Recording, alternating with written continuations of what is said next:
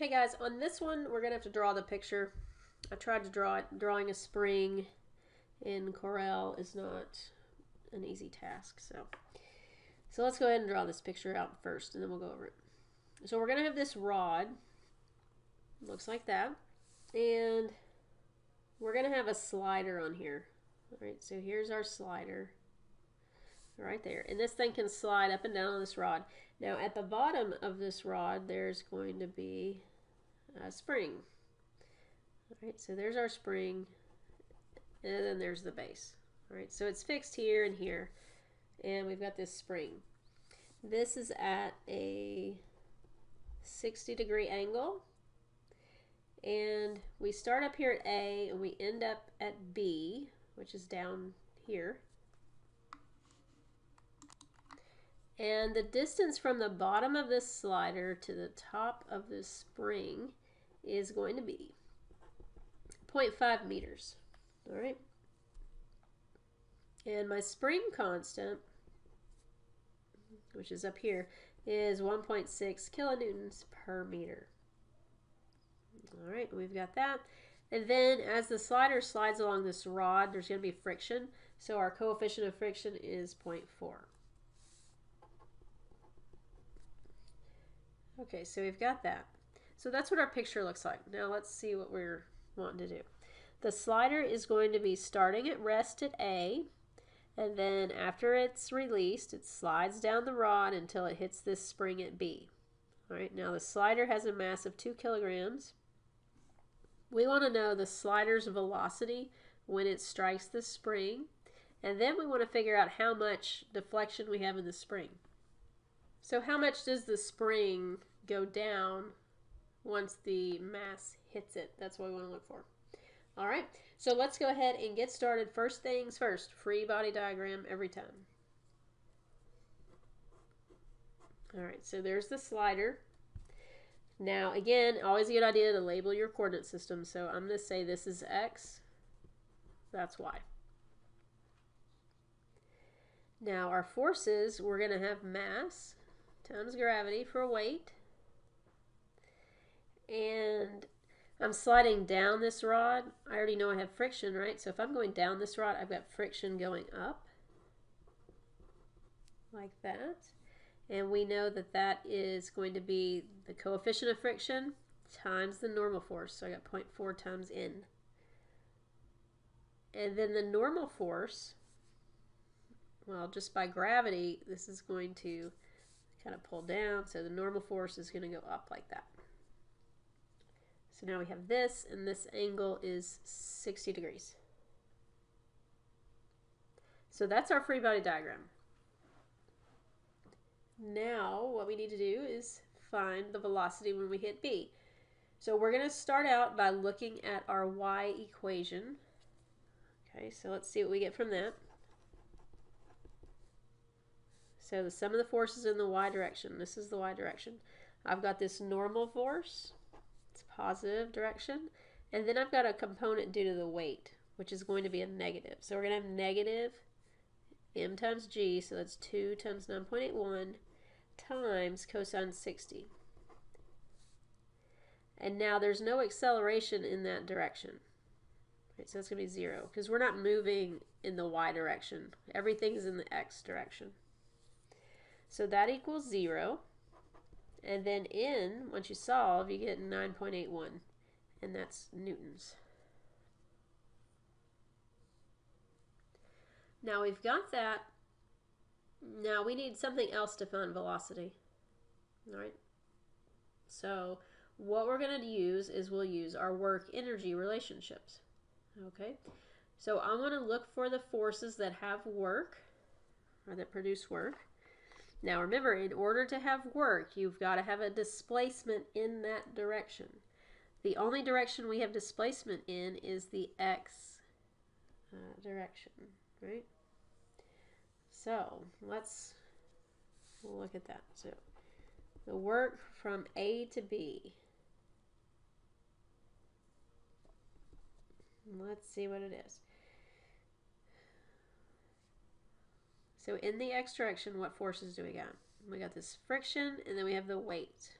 Okay, So for the friction, let's do the, actually, let's do friction last because it'll be negative. Let's go ahead and do weight.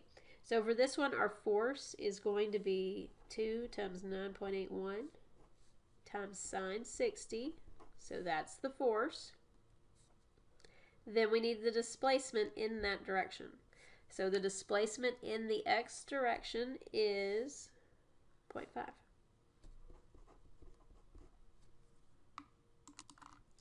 All right, this is positive because it's in my positive x-axis. That's the direction we are traveling.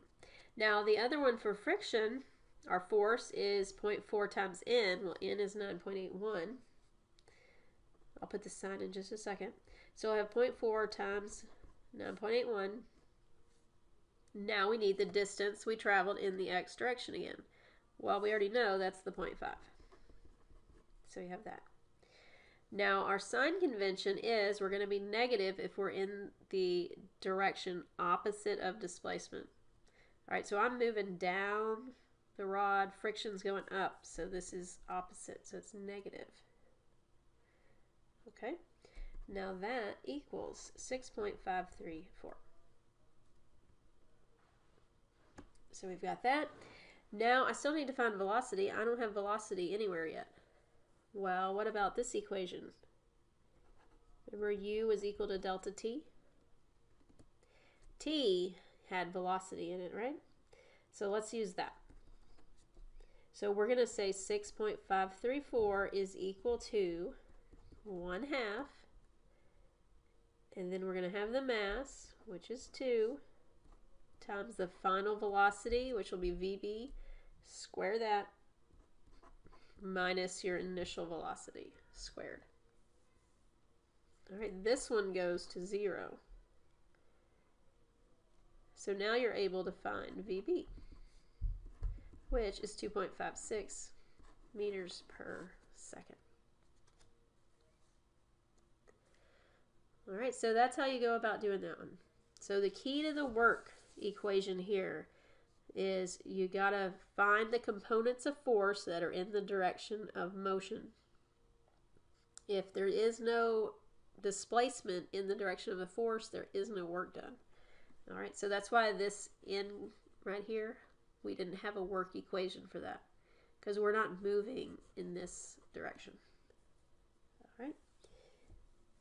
So that takes care of part A.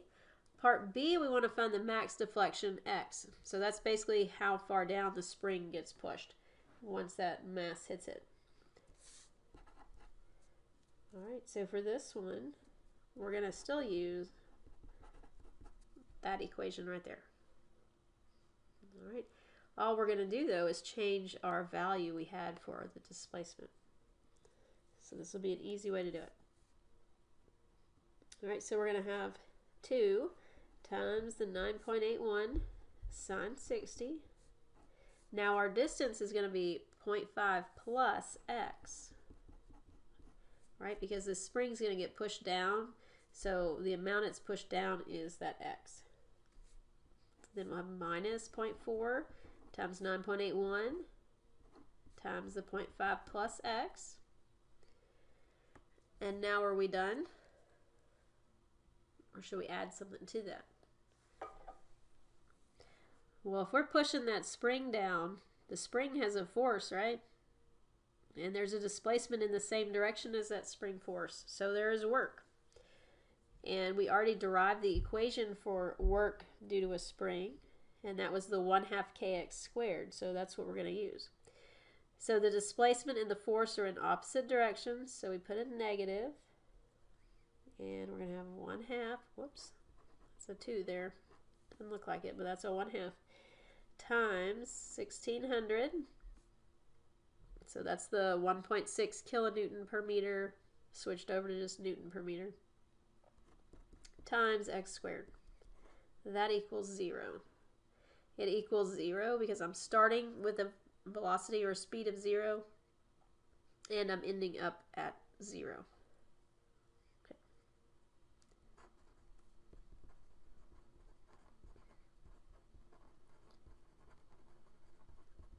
Let's make that note.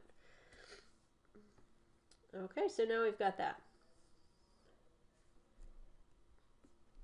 And again, it might be helpful to draw a free body diagram. So if we draw a diagram, let's just go ahead and do that. We'll have those two. We've got this friction still. And now this is going to be after you hit the spring. So once you hit the spring, you compress the spring, that spring pushes back. All right, so it's going up this way. Our displacement is in the opposite direction, so we have this negative. Okay, and this is the equation for work due to a spring. All right, so now we've got that. Let's go ahead and simplify this down. You'll get 800x squared minus 13.07x minus 6.53 equals 0.